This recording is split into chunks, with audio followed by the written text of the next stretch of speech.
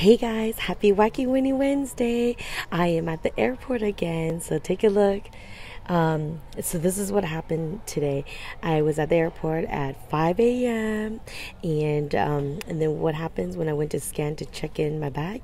It says 10:20. I'm like, what?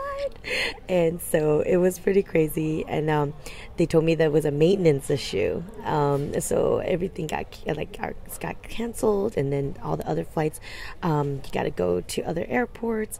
Um, and I was just like, okay, well, um, you know, what do you guys do in the time like this when you give me a five hour later? Oops, sorry.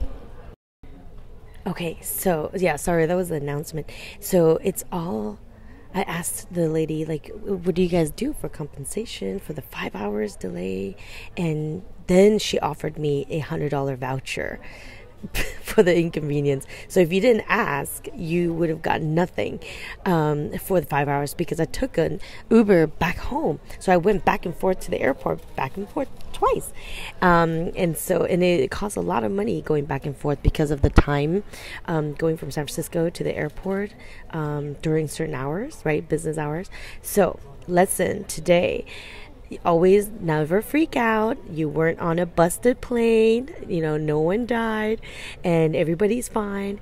Um, and you got a hundred dollars to go back and forth, pay for the you know inconvenience or the the ride. Um, I got to relax a little bit more, sleep a little bit more, um, and so everything. Find that silver lining in things because things will happen and it's unexpected it's unwanted but what are you going to do about it when it happens right? All right that's my lesson for today. I love you guys. I'll talk to you soon